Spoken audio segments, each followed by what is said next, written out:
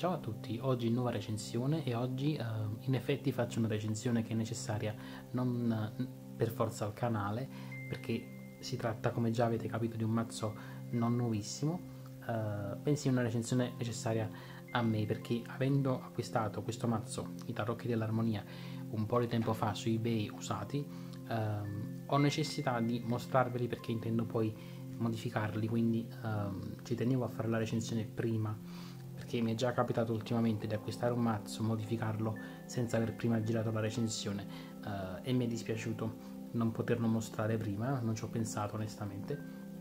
Quindi stavolta per non ripetere l'errore vado a girare prima la recensione e poi mi accingerò a modificarlo per motivi che vedremo fra pochissimo. Come dicevo e come vedete si tratta dei tarocchi dell'armonia, conosciuti a livello internazionale come Harmonious Tarot. Come vedete è un mazzo dello scarabeo, quindi pubblicato in uh, più lingue. Uh, e gli artisti che l'hanno creato si chiamano Walter Crane e Ernest Fitzpatrick. Uh, che dire di questo mazzo? Intanto io ho acquistato una versione usata, come dicevo, ed è una di quelle là, um, che venivano distribuite in edicola con quelle uscite settimanali o bisettimanali di qualche anno fa però esiste anche una versione diciamo più ufficiale dello scarabeo con la sua confezione più personalizzata e che include anche le istruzioni in questo caso uh, io non le ho quindi su quella parte del prodotto non posso pronunciarmi diciamo che uh, volendo fare una cruda e uh, crudele supposizione posso immaginare che sia come tutti i libretti vecchi dello scarabeo, quindi sicuramente in lingue multiple, sicuramente con significati e informazioni molto striminzite, quindi non necessariamente una cosa che vada ad aggiungere molto al prodotto. Questo, ripeto, è una mia supposizione, però se conosco un pochino, come ritengo di conoscere, eh, i classici mazzi dello scarabeo, penso che debba essere così più o meno. Non so se poi uh, è stata fatta qualche versione più aggiornata con un libretto uh, degno di questo nome, ma questo magari lo lascio dire a voi se ce l'avete. Quindi nei commenti fatemi sapere se magari il libretto uh, in una qualsiasi sua versione è degno di essere chiamato tale. Detto questo adesso guardiamo semplicemente quello che abbiamo qua comunque che è il mazzo ovviamente. Sulla scatolina poco da dire anche qui perché uh, è una classica scatolina di cartone come quelle classiche dello scarabeo. Uh, ricordo che queste qua che arrivano in edicola uh, arrivavano piatte e andavano poi piegate montate o anche incollate a volte. Però queste qua diciamo per quanto non siano il massimo per quanto siano fragiline possono sicuramente durare se tenute come si deve con cura. Infatti questa qua pur essendo usata devo dire era perfettamente conservata in ottimo stato quindi eh, niente di che insomma per come tratto io i mazzi queste sono scatole che possono durare perché io sono abbastanza de delicato con le scatoline se qualcuno magari è un po' più rozzo eh, e crudo nel maneggiare le scatole queste qua possono effettivamente durare molto poco quindi magari è necessario poi un sacchetto o una scatola a parte. Detto questo togliamo anche la scatola e ci dedichiamo a guardare il mazzo in se stesso. Ovviamente poiché parliamo di un mazzo classico vecchio dello scarabeo lo spessore è un po' quello che è uh, è più sul sottile decisamente. Quindi uh, il cartoncino ovviamente non è proprio il massimo è come quelli là classici dello scarabeo che a me personalmente poi non è che dispiaccia perché è molto uh, sottile, molto molto pieghevole, però va detto che permette di mescolare molto bene uh, il mazzo. Nel mio caso, essendo il mazzo usato, non so se si vede, alcune carte sono già un po' piegate, fino agli arcani maggiori credo che uh, ci sia questo mucchietto piegato in modo che crea questo piccolo spazietto qui, anche un po' in questa parte dei minori, quindi è quel tipo di mazzo che si può deformare un po' se non è tenuto alla perfezione. Però devo dire che a parte questo uh, queste carte qua sono in ottime condizioni. Non ci sono strappi non ci sono macchie quindi uh, è un mazzo che è stato tenuto discretamente e penso usato poco in realtà. Poi vediamo un po' uh, per quanto riguarda um, il materiale c'è da dire anche poi che non sono eccessivamente lucide Uh, lo scarabeo con i suoi mazzi vecchi non aveva un cartoncino molto molto lucido. Questo qua riflette un po' la luce ma considerate che io sto usando il flash adesso perché sto girando uh, purtroppo è pomeriggio ma il sole qui sta cominciando a calare quindi eh, non era opportuno usare la luce solare. E, e, quindi dicevo la luce del flash si riflette molto però a parte questo non è che siano laminati come lo scarabeo sta facendo ultimamente.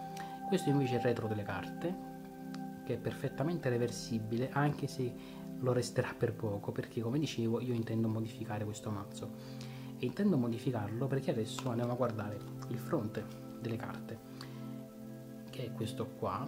Aspettate che magari ci avviciniamo un po' così limitiamo anche se possibile i riflessi. Ecco penso che qui si vedano meglio. Ecco qua. Come dicevo il fronte delle carte io intendo modificarlo perché abbiamo ovviamente la cornice bianca il nome della carta in più di una lingua ben 6 quindi eh, onestamente tutto questo comprime le immagini eh, mortifica un po' i colori e, e, con questi bei disegni è davvero un peccato. Quindi io penso che taglierò via tutto lascerò solamente eh, l'immagine a partire da questa cornice che fra l'altro già la cornice interna è bella doppia quindi andare oltre mi sembra veramente eccessivo però almeno il bordo bianco lo vorrei rimuovere. E, e quindi il mazzo poi sarà quasi mini. E pur sparendo i nomi, pur sparendo i numeri, rimarrà comunque utilizzabile perché questo mazzo segue molto lo, lo stile Rider Weight, in effetti è quasi un clone, anche se bisogna dire che uh, lo stile grafico in se stesso è molto diverso. O meglio, è, è diverso proprio per, per, un aspetto visivo, però a livello temporale penso che lo stile uh, si rifaccia un po' al, al periodo dei Rider Weight, perché è uno stile uh, liberty, potremmo dire, non vorrei usare a sproposito il termine, però penso che sia la cosa più simile uh, che si possa dire, quindi più o meno come periodo siamo un po' lì, anche se ovviamente il tratto è diverso perché comunque parliamo di due artisti diversi sicuramente. Approfitto anche, visto che ho qui una carta Rider Weight, per vedere le dimensioni, ovviamente sono simili, la stessa altezza e i Rider Weight che è la misura standard per eccellenza, sono un po' più larghi. A parte questo però sono quasi mm, simili, cioè, mm, quasi uguali, ecco. E, e, non la confronto con una carta moderna dello scarabeo perché sono anche quelle dimensioni uguali a Rider Weight, quindi comunque siamo lì. Detto questo, sono già 7 minuti che chiacchieriamo, io direi di guardare finalmente le carte una per una, partendo dal matto che come vedete ha uno schema molto simile ai Rider Weight comunque. Siamo fra le montagne, c'è il cane, c'è il nostro matto che va incontro al burrone, quindi è davvero molto molto simile. Poi abbiamo il mago, non è solo, questa è una cosa interessante, però uh, gli elementi tipici ci sono tutti, i quattro uh, semi che rappresentano gli elementi, il segno dell'infinito, uh, quindi c'è quello che serve insomma in ogni illustrazione, anche per questo i nomi sono un po' superflui in questo mazzo forse. Poi abbiamo la papessa o sacerdotessa con questo aspetto molto vegetale che è interessante, però anche qui abbiamo comunque gli elementi classici, abbiamo la tora o Torah, uh, le due colonne, abbiamo la luna, quindi il grosso, l'importante è tutto lì e non mi ripeterò per ogni carta perché uh, potremmo farlo ma sarebbe molto noioso. Quindi passiamo all'imperatrice, poi all'imperatore, quindi abbiamo il papa, o Gerofante. Dopodiché gli amanti, qui viene ripreso l'angelo nell'esatta posa dei Rider Waite, quindi anche qui si capisce molto che l'ispirazione è chiara. Poi abbiamo il carro, poi la giustizia al numero 8, quindi la numerazione in questo caso segue invece uh, il tarocco di Marsiglia, però le immagini come vedete richiamano molto di più il Rider Waite, almeno secondo me. Questo è l'eremita, poi abbiamo la ruota. Credo che sia una delle carte più famose di questo mazzo perché la si vede molto spesso online. Poi la forza numero 11 poi l'appeso quindi la morte molto carina perché non è sola qui abbiamo anche una, un giullare potremmo dire una specie di arlecchino eh, che sembra quasi farsi beffe della morte. Poi la temperanza. Il diavolo, anche questa si prende un po' di libertà rispetto all'illustrazione classica, il che è interessante. La torre, in cui non vediamo veramente la torre ma vediamo comunque il personaggio che cade insieme a tutti uh, i pezzi della torre e altre cose. Poi abbiamo la stella poi la luna il sole molto bella questa poi il giudizio altrettanto bella devo dire e poi il mondo più sul classico andiamo qui. E notate ma sicuramente l'avete già notati uh, i colori i colori sono molto tenui quindi abbiamo dei tratti mh, mm, delicatissimi dei colori uh, quasi pastello oserei dire forse appena appena più intensi ma diventeranno molto più intensi questi una volta che avrò tagliato il mazzo quindi uh, ci tengo veramente a fare questa modifica perché fra l'altro è un mazzo che intendo usare durante la primavera. Io sto registrando adesso che è febbraio voi sicuramente vedrete il video molto più in là però poiché ha questi colori queste atmosfere comunque molto uh, idilliache in se stesso, questo mazzo penso che sia molto adatto per essere usato in primavera. Comunque, detto questo, adesso passiamo all'asso, alla, all'asso di bastoni, sì, per vedere il primo dei quattro semi, poi al 2, poi il 3 e in questo caso vedete abbiamo ovviamente dei semi uh, scenici che riprendono molto le scene dei Rider Waite, come già detto. Questo è il 5 di bastoni, poi abbiamo il 6, poi il 7. Magari non sono riprese tutte quante alla lettera le scene, però è anche giusto che non sia completamente un, un clone, altrimenti sarebbe un po' noioso forse come mazzo.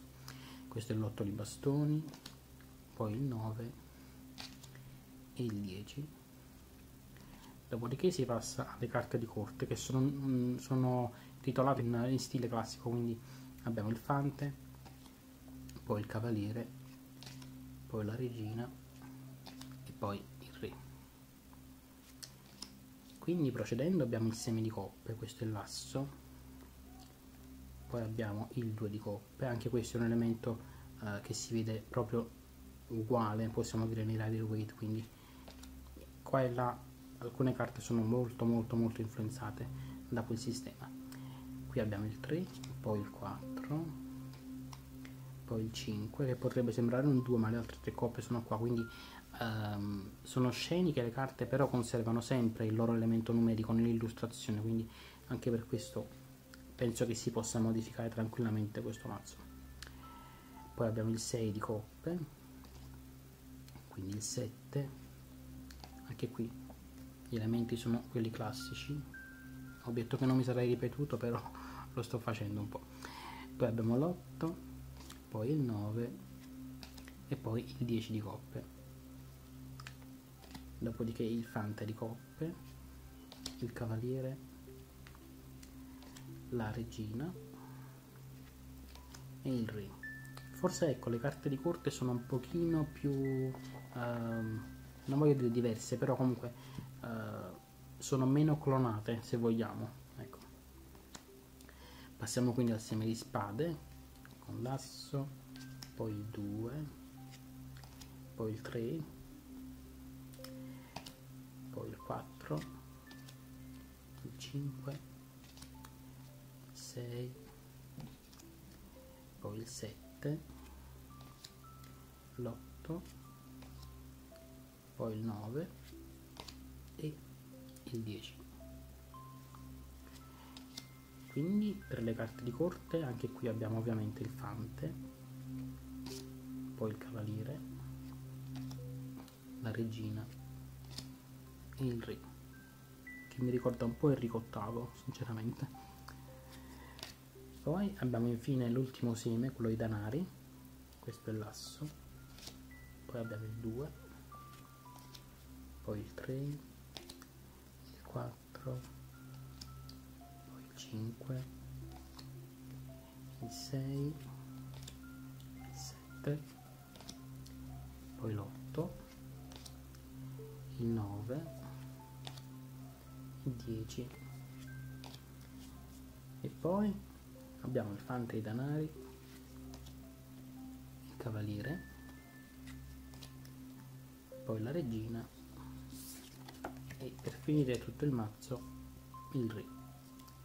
Quindi siamo andati super di corsa perché in effetti non c'era tantissimo da dire su come sono uh, illustrate queste carte. Anche in termini di simbologia sono piuttosto semplici perché lo ripetiamo per l'ennesima volta uh, seguono in maniera molto molto fedele anche se non come un clone uh, le carte Rider Waite. Quindi chiunque sia a suo agio con quel tipo di mazzo può leggere questo praticamente all'istante senza nemmeno leggere le eventuali istruzioni o lavorarci troppo, diciamo, quindi è un quasi clone, possiamo dire, però ha di suo che um, è disegnato in modo molto particolare, sicuramente. Sembrano effettivamente disegni di, di più di un secolo fa, quasi usciti da un libro di fiabe o da una rivista per bambini dell'epoca, quindi eh, è molto gradevole, è molto delicato, eh, rispetta in pieno il nome tarocchi dell'armonia perché effettivamente anche le carte peggiori tipo non so ecco il diavolo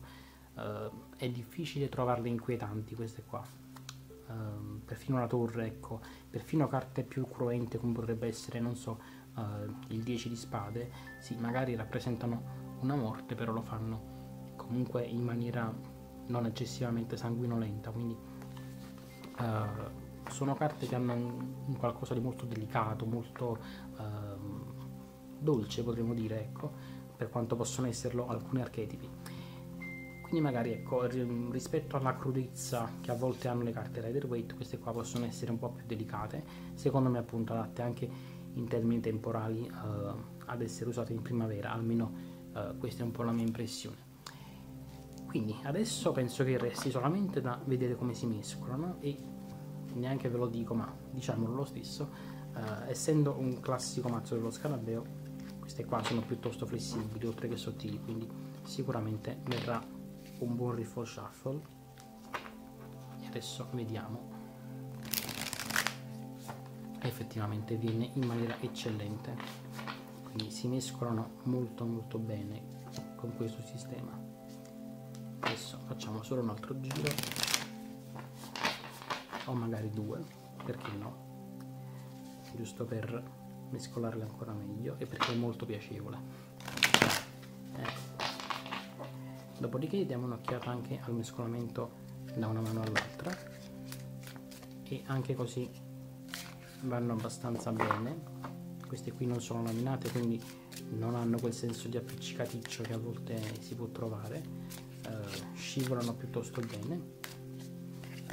Ora teniamo presente che questo mazzo è usato eh, quindi un pochino si è già diciamo sgranchito forse. Non so perché onestamente non ho chiesto alla persona se e quanto l'avesse usato. Diciamo che non è nuovo. Uh, però ecco magari un mazzo nuovo potrebbe fare appena appena un po' di resistenza in più ma questi sono mazzi che uh, si ammorbidiscono istantaneamente possiamo dire quindi perfettamente utilizzabili da subito. Ora che sono piuttosto mescolate credo diamo un'occhiata a come si presentano. Ora purtroppo a causa del flash eh, e della luce dall'alto alcune carte saranno più in ombra alcune magari eh, soffriranno un po' per via dei riflessi. Però possiamo tranquillamente mettere 6 carte per fila potrebbe anche metterne 7 forse però non voglio affollare troppo. Uh, va detto proprio per onestà che queste qua uh, hanno uno stile un po' diciamo uh, caotico, nel senso che sono molto dettagliati, ci sono molti elementi, il tratto è molto intricato, quindi con queste non è necessariamente consigliabile secondo me una stesa così grossa per esempio. Adesso io ve le faccio vedere il più possibile, però penso che queste qua si prestino più a delle stese piccole, soltanto perché um, appunto lo stile è molto intricato, quindi c'è il rischio che facciano incrociare un po' gli occhi se mettiamo troppe carte e nel mio caso lo sarà ancora di più quando toglierò le cornici perché è vero che uh, ci saranno meno elementi a distrarmi però è vero pure che tutto risalterà anche quindi questo stile molto intricato e ricco quindi ecco è, è qualcosa da tenere a mente questo.